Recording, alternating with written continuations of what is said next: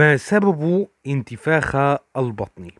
هذا سؤال يأتي كثيرا للأسف في الأواني الأخيرة والذي نشهد مشكلة عامة والتي تصيب عامة الأشخاص وكما نعلم بدنا نقول إنه عملية أو عملية انتفاخ البطن هي عملية طبيعية تحدث نتيجة تجمع الغازات داخل الجهاز الهضمي إذ يمكن أن يتسبب ابتلاع الهواء أثناء الأكل أو الشرب في تجمع الأكسجين والنيتروجين في الجهاز الهضمي كما قد تتجمع الغازات الهضمية مثل الهيدروجين والميثان والثاني أكسيد الكربون أثناء هضم الطعام.